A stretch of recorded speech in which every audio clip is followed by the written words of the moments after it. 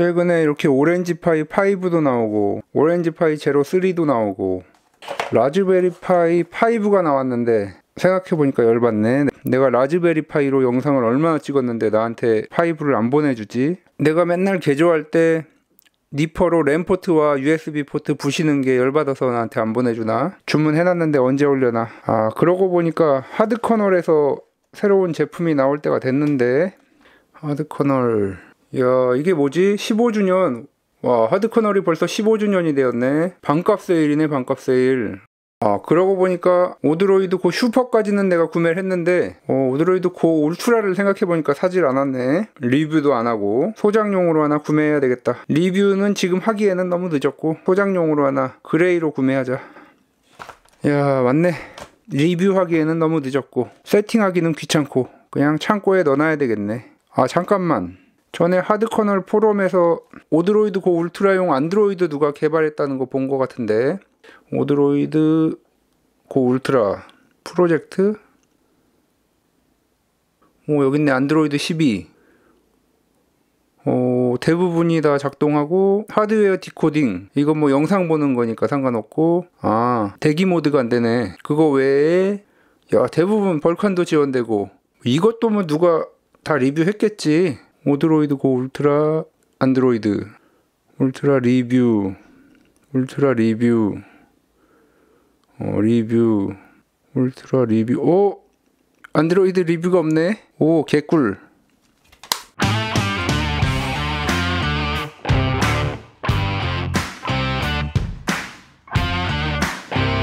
안녕하세요 닥터케입니다. 자 오드로이드를 만든 하드커널사가 어, 저도 몰랐는데 벌써 15년이 되었습니다. 그래서 창립 15주년 맞이 50% 할인 행사를 진행을 하고 있습니다. 그래서 뭐 한정 수량이기 때문에 저도 재빨리 오드로이드 고 울트라가 없어서 오드로이드 고 울트라를 한번 구매해 봤습니다.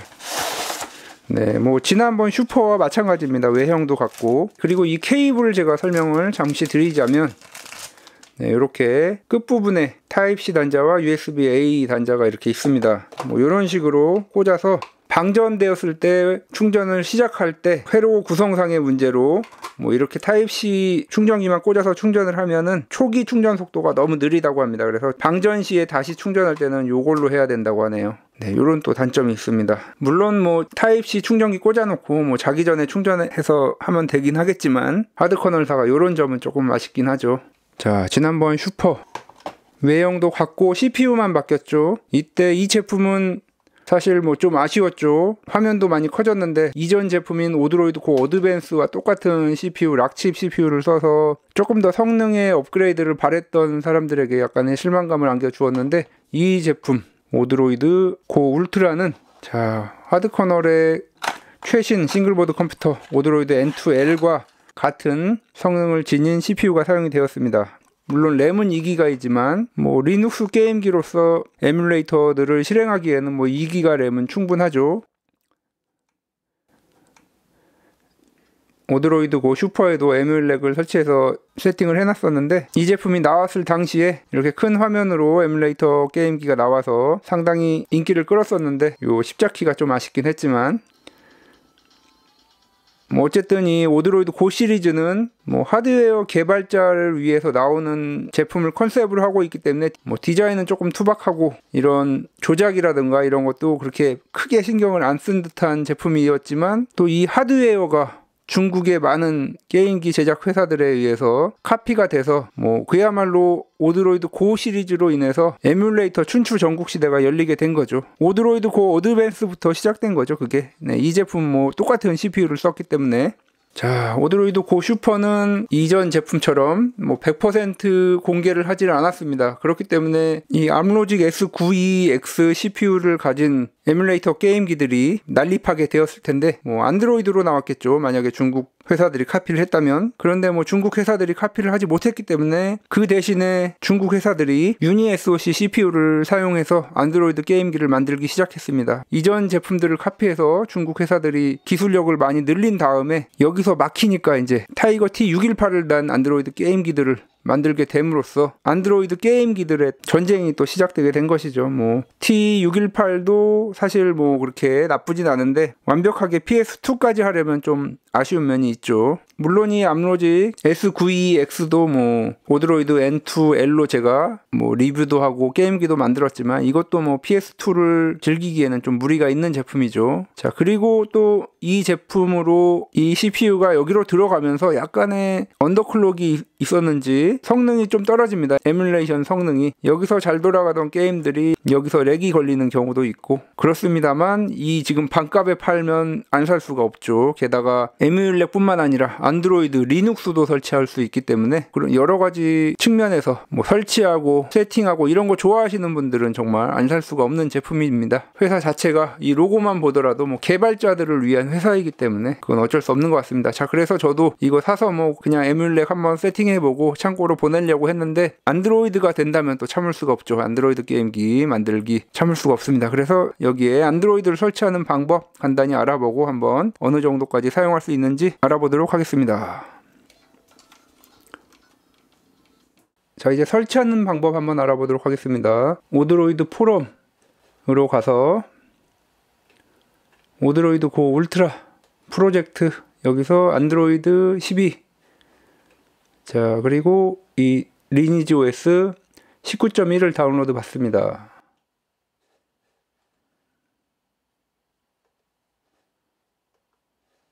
만드신 분은 노타임 2D8이라는 분인데 맥주 한 잔 사드리려고 했는데 도네이트 버튼이 없네요. 아, 다음번에 도네이트 버튼 넣어주시면은 제가 맥주 한 잔 사드리도록 하겠습니다. 자, 이제 다운로드가 완료되면 압축을 풀어줍니다. 자, 이렇게 압축 해제가 되었고, 자, 이제 오드로이드 고 울트라 내부 eMMC에 OS를 설치해 줄 차례입니다. 내부에는 16GB의 eMMC가 들어 있습니다. 자, L2, R2를 누르고 전원 버튼을 눌러줍니다. 자, 여기서 L2, R2를 떼줍니다. 자, 그럼 이렇게 recovery 모드로 들어가게 되는데 Type-C 단자를 통해서 PC와 연결해 주도록 하겠습니다. 자, 이렇게 PC에 연결되면 자, 이렇게 PC에서 인식을 하게 됩니다. 애처와 같은 이미지 burning tool, 뭐 Win32s, Raspberry Pi Imager 뭐 다 사용해도 됩니다. 자, 여기서 파일을 Lineage OS 선택해 주고 여기 select target에서 컴퓨터 모듈 선택해 주시고 플래시 눌러 주시면 되겠습니다.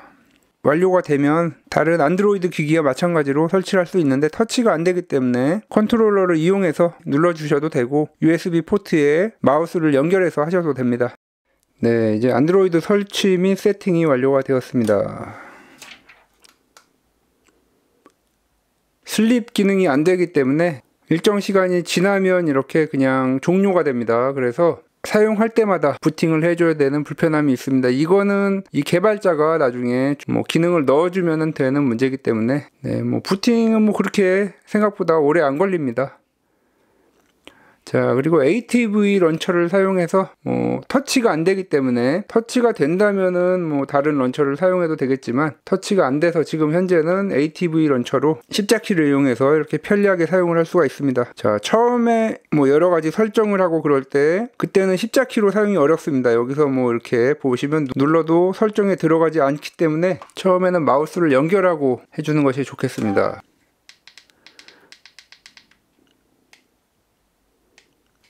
자, 정보 한번 보시면 Odroid Go Ultra 그리고 안드로이드 12 네, 이렇게 설치가 되어 있습니다. 자, 뭐 이렇게 해서 Google Play Store 로그인까지 완료가 되면 그 다음부터는 이제 키보드 마우스가 필요가 없습니다. 하지만 이게 또 와이파이를 사용하려면 또 와이파이 모듈을 장착을 해야 됩니다. 자, 제가 여러 가지 모듈이 있어서 테스트를 해봤는데 이렇게 블루투스 와이파이 같이 되는 USB 이런 게 되면 참 좋을 텐데 되지가 않습니다. 뭐 이것도 안 되고 다 흔하게 사용되는 것들 안 되고 이 두 개만 지금 현재 됐습니다. 그래서 Hardkernel에서 나온 모듈을 사용하도록 하겠습니다. 자, 뭐 이렇게 해서 바로 또 사용이 안 됩니다. 네, 그래서 처음에 부팅할 때 요거를 장착한 상태로 켜야 됩니다. 자, 그리고 sleep 기능이 안 되기 때문에 이게 바로 종료입니다. 자, 안 켜지죠. 네. 다시 한번 부팅을 해서 와이파이가 연결이 됐다는 것이고 네, Play Store 이렇게 잘 됩니다. 네, Play Store 잘 되죠. 지금 현재 개발자가 이제 아날로그 스틱이 마우스로 작동하게끔 그런 것도 개발하고 있다고 하니까 다음 버전에서는 뭐 이렇게 마이크로소프트 런처 같은 거 사용하면 네, 정말 안드로이드처럼 사용을 할 수가 있습니다. 이렇게 됐고 유튜브 넷플릭스도 안드로이드이기 때문에 사용을 할 수가 있습니다. 네, 유튜브도 뭐 다 됩니다. 스크롤이 안 되기 때문에 마우스를 또 연결을 해야 사용을 할 수가 있습니다. 자, 뭐 넷플릭스 세로로 나오네요. 아, 넷플릭스 앱은 작동이 안 되네요. 설치까지는 됐는데 네, 작동이 안 됩니다. 뭐 사실 이걸로 누가 넷플릭스 유튜브 보려고 이걸 하시는 분들은 없겠지만은 자 물론 유튜브나 넷플릭스 할 수 있는 방법은 있습니다. 이 TV 브라우저에 들어가서 네 여기 들어가면 이렇게 십자키로 마우스처럼 움직일 수가 있습니다. 자 이렇게 들어가서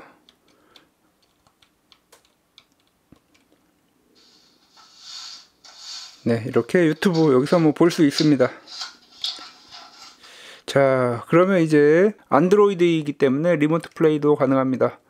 자, PS 리모트 플레이 공식 앱은 안 되고 이 PS 플레이라는 유료 앱만 가능합니다. 이 앱으로는 자, 콘솔 찾는 중. 네, 제 PS5 켜지는 소리가 지금 들리죠. 네, 돌아가는 소리도 나고 네, 이렇게 PS 리모트도 할 수 있습니다. 뭐, 제 가격 주고 사면 성능 때문에 아쉬울 수도 있지만, 반값 할 때 사서 이 안드로이드 설치하면은 정말 활용도가 높아집니다. 뭐, 물론, 클릭이 안 되기 때문에 L3, R3가 없긴 합니다.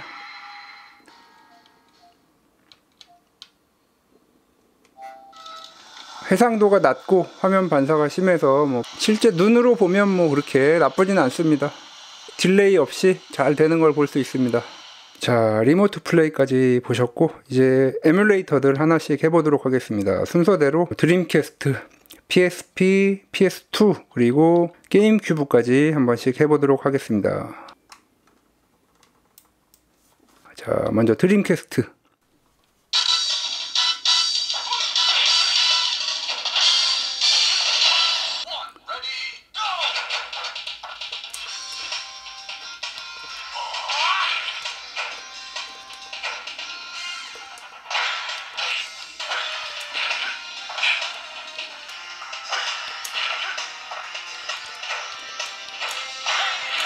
2 CPU에서 뭐 드림캐스트는 사실 볼 것도 없죠. 100% 구동하는 거 보셨고 PSP 한번 보시겠습니다.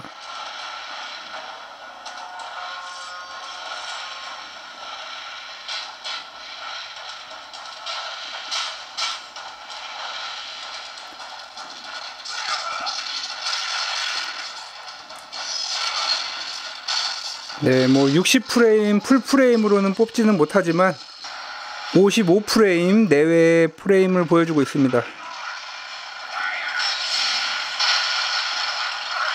자, 뭐 PSP도 뭐 가장 사양을 많이 요구하는 가도부어의 경우에도 뭐 100% 구동은 안 되지만 그래도 높은 구동률을 보여주었고 다른 PSP 게임들은 거의 뭐 완벽하게 구동됨을 유추해 볼 수가 있습니다. 가도부어 보셨기 때문에 자 그럼 PS2 아 네 데모 화면부터 상당히 렉이 걸리는 걸 볼 수 있습니다.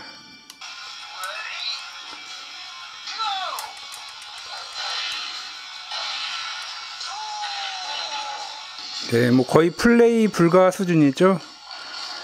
네, 사양이 많이 요구되는 3D 게임 같은 경우는 뭐 어렵죠. 네, 하지만 이런 게임들의 경우는 뭐 거의 50프레임 후반대로 게임을 즐길 수 있습니다. 컬드세프 2 같은 단순한 게임들 즐기는 데는 전혀 무리가 없습니다.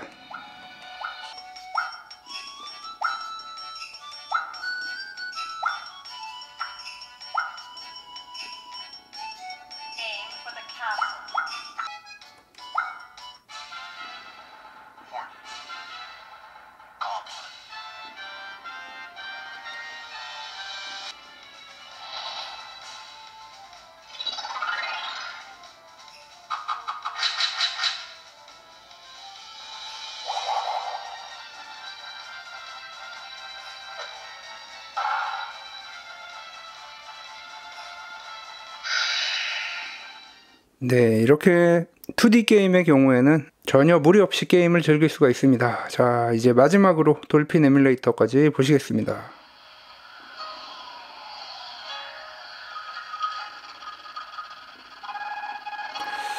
네, 타이틀 화면부터 프레임이 많이 떨어지네요.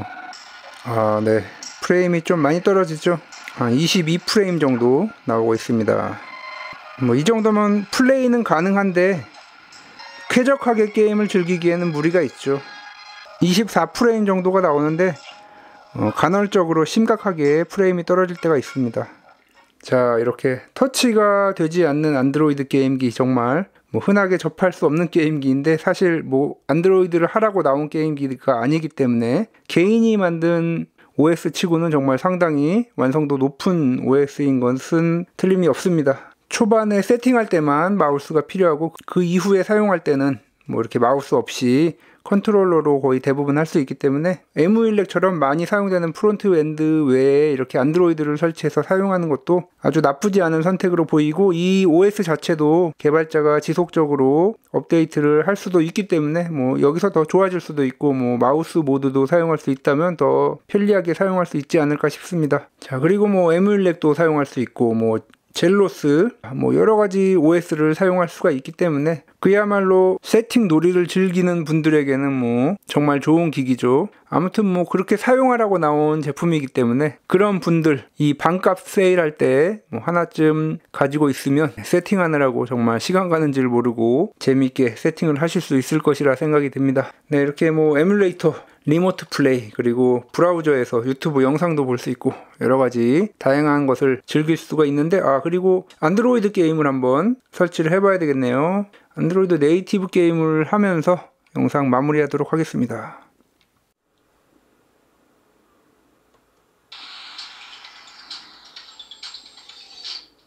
지금까지 닥터키였습니다. 다음 시간에도 더 알차고 도움이 되는 IT 정보 리뷰 그리고 신박한 DIY로 찾아뵙도록 하겠습니다. 구독과 좋아요도 부탁드립니다.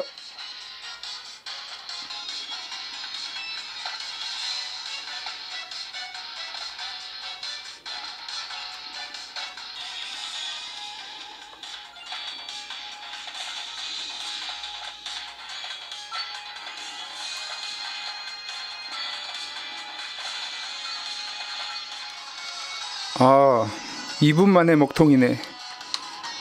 야, 역시 뱀파이어 서바이버 저사양 게임이 아니었어. 어, 택배가 하드코널에서 택배가 왔네. 내가 주문한 게 없는데 이게 뭐지? 아니 이 이것은